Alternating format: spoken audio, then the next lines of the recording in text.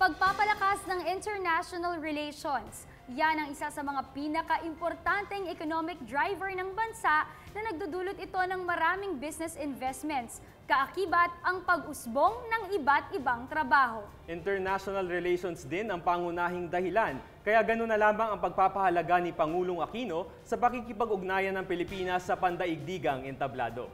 Ako po si Dayan Medina at kasama ko ngayon si Jules Giang para sa isang special report sa biyahe ng ating Pangulong Benigno S. Aquino III sa Europe at United States. Magandang araw sa iyo, Jules. Magandang araw din sa Dayan. And of course, magandang araw po sa lahat ng mga nanonood sa atin ngayon.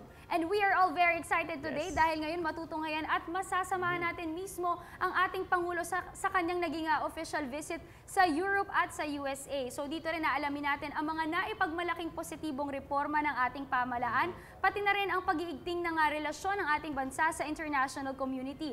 At Jules, hindi lamang yan. Ito rin nga programang ito ay paglapit natin sa mga kabataan upang sila ay in their own little way on how can they contribute. So titingnan natin dyan at aalamin natin ang maraming mga factors kung paano sila in their own little way makakapag-contribute Yes. sa pag-unlad ng ating bansa, particular na sa pag-angat ng ating ekonomiya. Tama ka dyan, Dayan. Kasi dapat lahat ng mamamayan merong may alam at may pakialam. Isa na rin itong paghikayat natin sa lahat ng sektor ng lipunan na tayo ay makialam at makilahok sa lahat ng isyu ng ating bansa. Nitong September, nilibot ni Pangulong Aquino sa loob ng labindalawang araw ang ilang bansa sa Europa at Estados Unidos. Ibinalita niya sa mga bansang ito ang mga positibong reforma ng gobyerno natin na nagresulta sa paglago ng ekonomiya ng Pilipinas. Ipinagmalaki ni Pinoy na ang dating sick man of Asia. Ngayon ay Asia's bright spot at Asia's new tiger.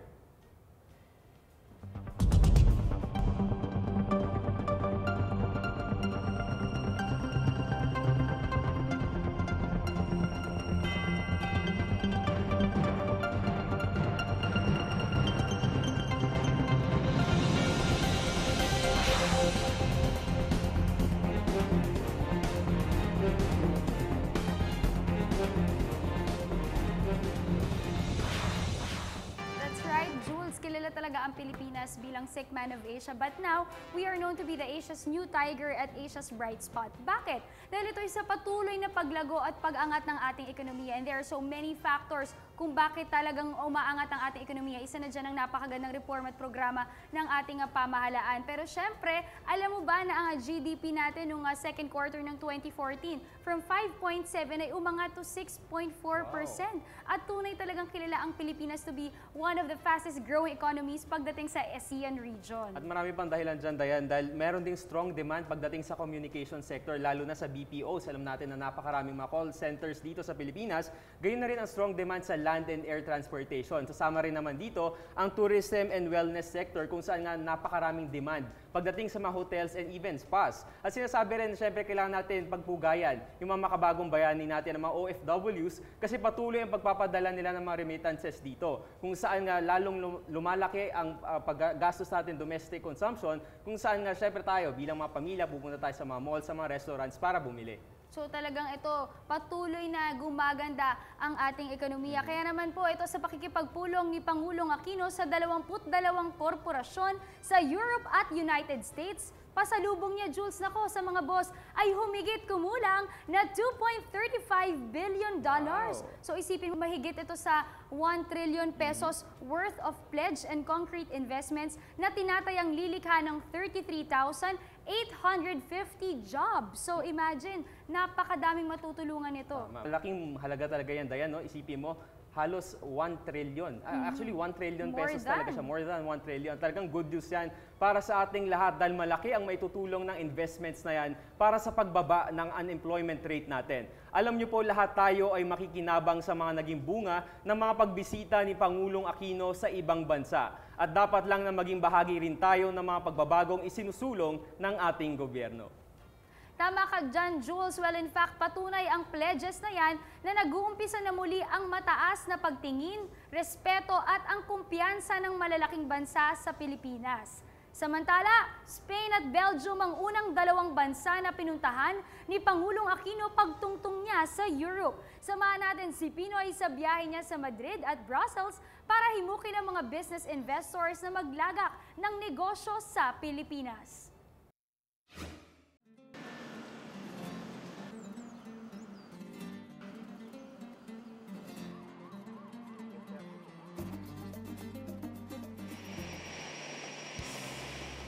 Makabuluhan ang naging pagbisita ni Pangulo Aquino sa Espanya, ang una niyang destinasyon sa Europa. Sa pagkikita nila ni Prime Minister Mariano Rajoy, agad ipinarating ni Pangulo Aquino ang pasasalamat ng gobyerno ng Pilipinas sa pagiging natatanging bansa sa Asya na kabilang sa Master Plan of Spanish Cooperation mula taong 2013 hanggang 2016, maging sa tulong na ipinahatid ng Spain sa mga biktima ng Bagyong Yolanda, Zamboanga Siege at lindol sa Bohol at Cebu. Nagpasalamat din si Pangulo Aquino dahil sa suporta ng Espanya sa peace initiatives ng Pilipinas. Napag-usapan ng pagkabahala ng Pilipinas sa reclamation activities na isinasagawa ng bansang China sa ilang reefs na nasa bahagi ng West Philippine Sea at ang patuloy na presensya ng Chinese vessels sa exclusive economic zone ng bansa.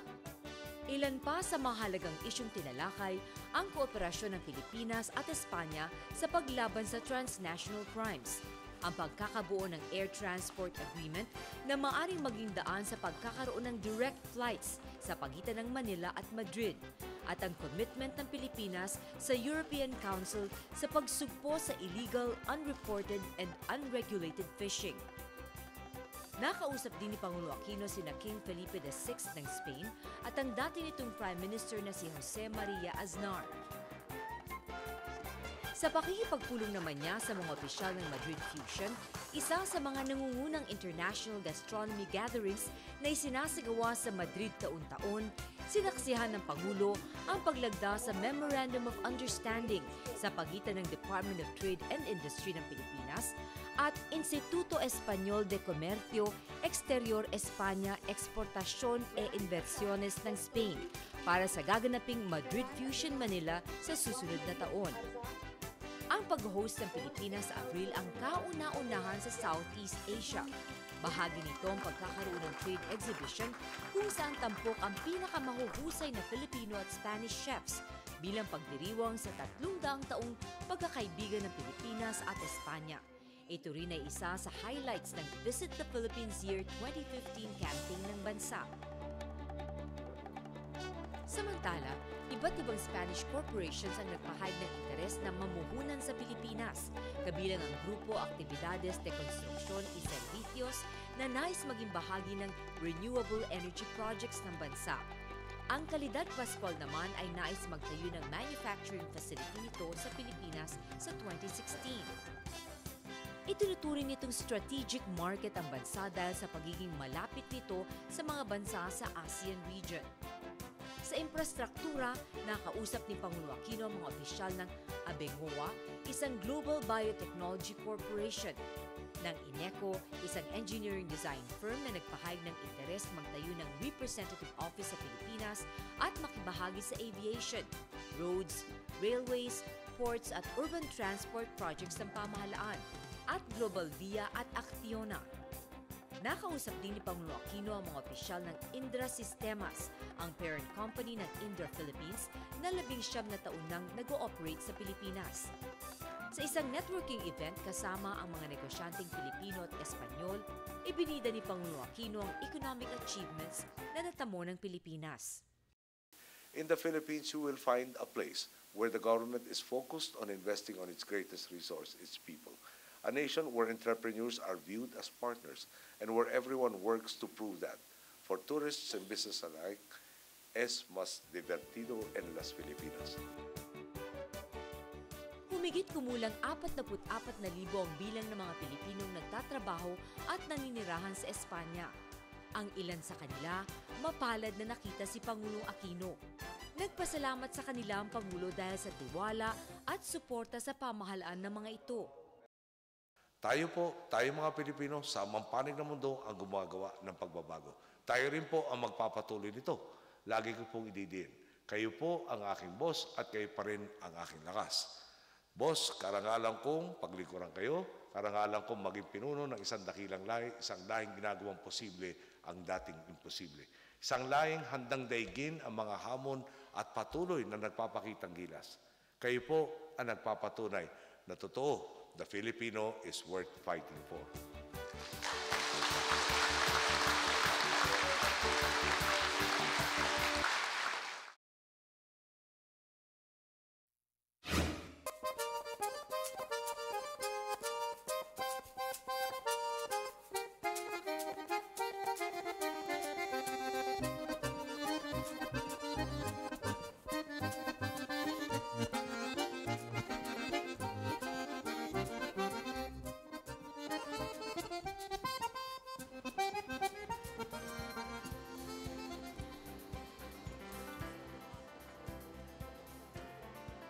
Capital city ng Brussels sa Belgium ang sunod na destinasyon ni Pangulong Benigno S. Aquino III sa kanyang pagbisita sa Europa. Dito matatagpuan ang headquarters ng European Union o EU na isang economic and political partnership ng 28 bansa sa Europa. Akmang-akma ang working visit ng Pangulo dahil nataon ito sa 50th anniversary ng Philippines-European Union relations. At sa ikalawang pagkakataon, nakipagpulong ang Chief Executive kina European Commission President Jose Manuel Barroso at European Council President Herman Van Rompuy. First of all, I congratulated President Aquino for his efforts to bring peace, stability, and development to the Philippines, of which the successful accomplishment of the Mindanao peace negotiations and signing of the comprehensive agreement on Bangsamoro is a good example. In particular, I have congratulated President Aquino for the submission of the draft Bangsamoro Ba- Basic Law to the Philippines Congress on the 10th of this month.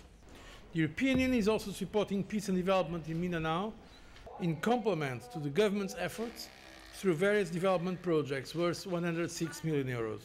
And I assure the President of our continued support and assistance in this effort. The Philippines' relations with Europe are historically deep and long. Today, the Philippines can boast the fastest growing economy in Asia. It is an engine of growth in its region and will progressively raise millions of people from poverty. It was also a forerunner in democratic transition in Southeast Asia, and in this context, I pay tribute to President Aquino's good governance agenda. The European Union's development cooperation with the Philippines will more than double in the next six years. It is increasing from 130 million euros to 325 million euros with a focus on judicial and legal reform, sustainable energy, and job creation. Sa mga pulong na ito, ibinalita ni Pangulong Aquino ang commitment ng Pilipinas para sa mapayapang resolusyon sa maritime issues sa South China Sea, alinsunod sa United Nations Convention on the Law of the Seas o UNCLOS. Pagdating naman sa paksa ng pangingisda, sinigurado ni Pangulo Aquino na aktibong ipinapatupad ng Pilipinas ang mga para puksain ang illegal, unreported, and unregulated fishing o IUUF. Tiniyak din niya ang kooperasyon ng bansa sa European Union para sa pagsunod sa standards of training, certification, and watchkeeping for seafarers o STCW. Kamakailan lang, pinirmahan ng Pangulo ang Republic Act No. 10635 na nagtatakda sa Maritime Industry Authority o Marina bilang pangunahing otoridad sa pagpapatupad ng STCW Convention sa Pilipinas. European Union and Philippines are also becoming more important to each other in terms of trade and investment rankings. Our trade exchanges in 2013 and 2014 were the largest in a decade. The European Union is Philippines' third largest trading partner, but we are the largest foreign investor in the Philippines, resulting in the creation of 400,000 jobs. I would like to highlight the valuable contribution which Filipino migrants living and working in Europe are making to our societies and to our country of origin. Filipino migrants sent 2.3 billion euro back to the Philippines in 2013. The European Union is the second largest source of remittances to the Philippines and the largest employer of Filipino seafarers. Bukod sa European Union, nakausap din ni Aquino ang hari at Prime Minister ng Belgium.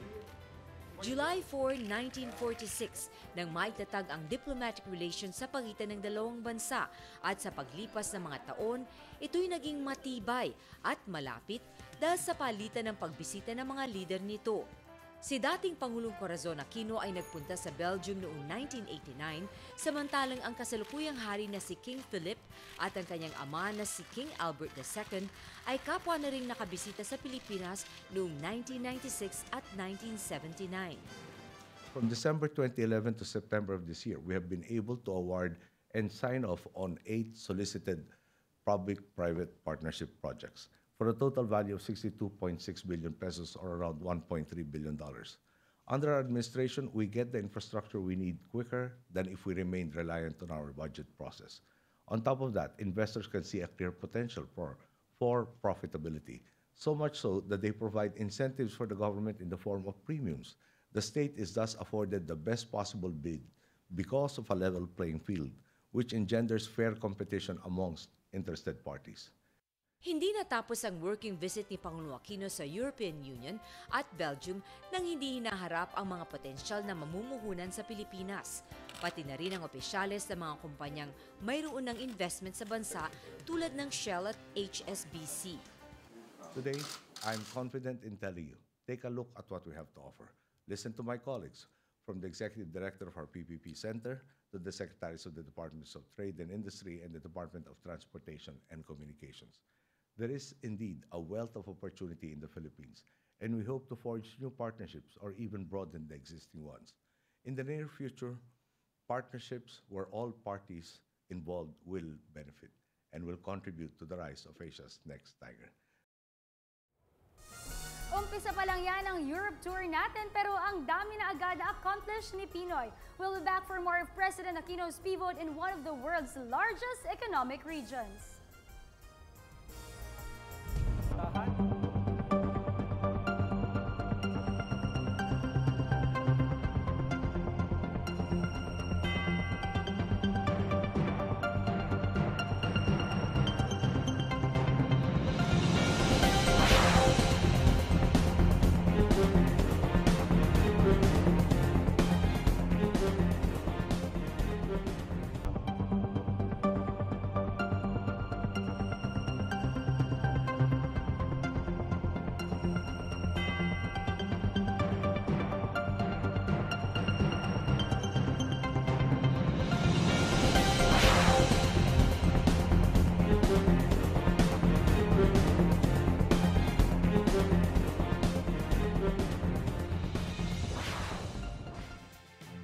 Tahanan ng sikat na Eiffel Tower ng France at Brandenburg Gate ng Germany ang dalawang huling bansang binisita ni Pinoy sa Europa. Tagumpay na napalawig ni Pangulong Aquino ang kooperasyon ng Pilipinas at bansang France sa larangan ng edukasyon, komunikasyon, transportasyon, enerhiya at cultural exchanges. Sa unang beses naman na pagbisita ng Pangulo sa Berlin ay mas napatatag ang relasyon ng bansa natin at ng Germany sa mga sektor ng healthcare, social security, trade and investment at skills training.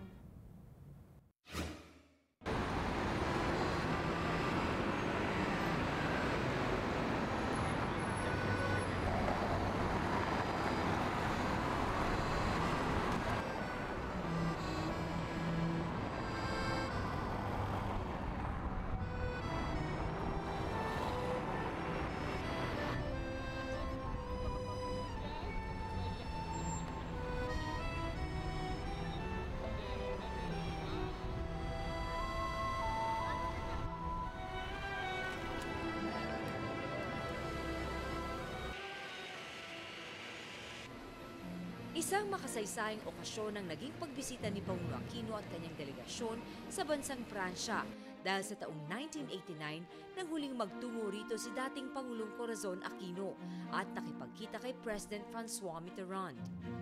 Sa pakikipagkita ni French President François Hollande at President Aquino sa Paris, France, inihalin tulad ang Pangulo sa kanyang namayapang ina bilang isang simbolo rin ng demokrasya sa Pilipinas.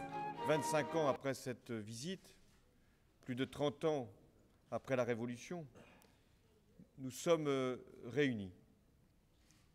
Et nos deux pays n'ont cessé euh, de se rapprocher et d'intensifier leurs échanges. Aujourd'hui, nous avons établi une coopération politique d'un niveau euh, exceptionnel puisque nos deux ministres des Affaires étrangères Sang-ayon ng dalawang leader na kailangan pa ng isang mas matibay at pinalalim na relasyon sa pagitan ng Pilipinas at Pransya. Our two nations, after all, have always aspired to preserve the values that we share democracy, social justice, the protection of human rights, and the respect for the rule of law. Para paigtingin pa ang pagkakaibigan at samahang ito, sinaksihan ng dalawang leader ang paglagda sa ilang mga kasunduan. Una ay isang air services agreement kung saan ayon kay Pangulo Aquino ay tutulong na magbukas ng maraming oportunidad para mapalakas ang turismo, kalakalan at pagkilos ng negosyo. Ikalawa ay ang sa pagitan ng National Commission for Culture and the Arts ng Pilipinas at ng Ministry of Culture and Communication ng France para naman sa Language and Arts Training, Heritage Restoration, and Conservation at Cultural Management. Sumunod ay isang Memorandum of Understanding sa pagitan ng Development Academy of the Philippines at ng French National School for Administration o École Nationale d'Administration. Ang nasabing MOU ay magbibigay din ng training sa mga public servants para mas mapabuti pa ang kanilang serbisyo. Ang kahuli-hulihan ay isang commercial agreement sa pagitan ng Globe Telecom ng Ayala Group at ng French telecommunications firm na Alcatel-Lucent para sa pagbili ng equipment na tutulong sa 3G at 4G technology transition ng Globe Network. Bukod dito, nabanggit din ni Pangulo Aquino ang mga bago sa Bilateral Defense Cooperation Agreement The Philippines is in the process of modernizing our armed forces and improving our defensive capability. And we believe that France will be a reliable partner in this regard. Nagkaroon din ng pagkakataon na makapag-usap si Pangulo Aquino at Prime Minister Manuel Valls sa Paris para sa iba pang usaping politikal at pang-ekonomiya na magsusulong sa kaunlaran ng dalawang bansa. Ang relasyong pang-ekonomiya ay mas lumakas pa dahil aabot sa isang daang French companies na ang may negosyo sa Pilipinas at nagbibigay ng trabaho sa higit 40,000 katao. Patunay nito ang mga ilang business meetings na diniluhan ni Pangulong Aquino. Ang Airbus na isang aeronautics company at aircraft manufacturer ay nagpahayag ng kanilang patuloy na partisipasyon para sa AFP Modernization Program ng pamahalaan. Kasama rin silang magsusulong na gawing pangunahing lugar sa Asia ang Pilipinas para sa aircraft parts manufacturing bukod sa maintenance at repair services nila sa bansa.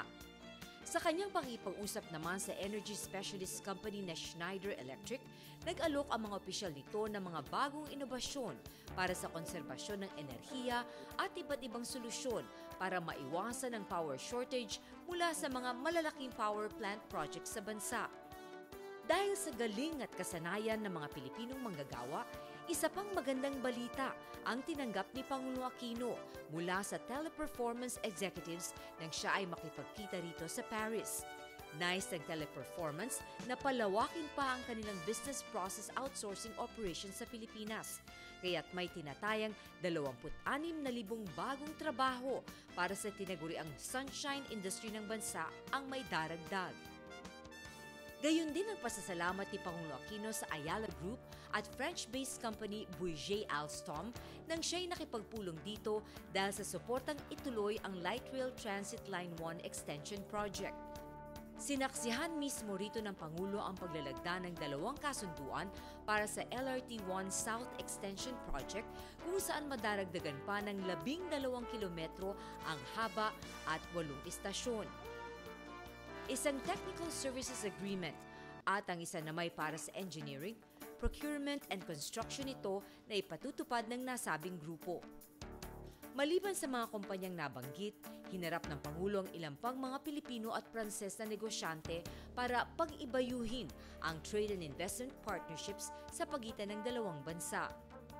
Sa sumunod na business forum, inimbitahan ng Pangulo ang mga negosyante na sumama sa ngayon nagaganap na economic renaissance sa bansa. Kanyang ipinaalam na ang Pilipinas ay handang-handang tumanggap ng mga bagong mamumuhunan dahil sa mas magandang klima ng pagnenegosyo sa bansa. Our good governance efforts have breathed new life into our economy. In 2013, the economy grew by 7.2%, making us one of the fastest growing economies in Asia. The business community, both domestic and international, has also noted the sea change in our country. Dagdag pa ng Pangulo, bukod sa investment grade status ng Pilipinas na ibinigay ng Moody's, Fitch at Standard Poor's, most improved country na rin ang bansa pagdating sa global competitiveness. Base ito sa taunang report ng World Economic Forum kung saan umakyat ang Pilipinas mula 85th place noong 2010 hanggang sa 52nd place na ngayong taon. Take part in the Philippine Renaissance that continues to win the admiration of the world. France and the Philippines are no strangers to each other. We only have to open a new, more vibrant chapter in commercial relations to expand on the people-to-people contacts we currently enjoy. Sa isa pang pagkakataon na ipaalam ang magagandang ibinunga ng mga reformang ipinatutupad ng kanyang administrasyon, sinabi ng Pangulo sa isang forum na inorganisa ng French Institute for International Relations na kanyang inaasahan ang 2015 bilang isang banner year para sa bansa. Good governance is good economics. Again, let me emphasize that this is not an empty pronouncement. Our business process management sector continues to mark impressive growth. Manufacturing has rebounded impressively, and tourists all over the world are flocking to our beaches and cities, sitting, seeing for themselves how truly it is more fun in the Philippines. Sa question and answer segment ng forum, inilahad ng Pangulo ang kanyang mga polisiya sa iba't ibang local and international issues. Saglit ding ikinatuwa ng karamihan ng pagtatanong ni French